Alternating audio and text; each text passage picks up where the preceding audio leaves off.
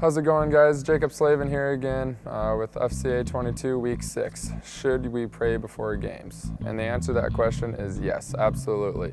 In 1 Thessalonians 5 verses 16 and 17 it says, Rejoice always, pray continually. So we should always be praying. I know I'm not the best at that, but every single game I've played this year and for the most of my life I have prayed before. It's not necessarily a super, superstition, but it's just wanting to get my heart in the right place. We're not out there to get revenge on somebody that we played a couple games ago that maybe gave you a cheap shot.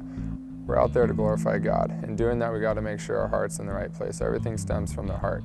And so we got to really make sure where what our motives are on the ice and whether we're there for our own glory or for God's glory.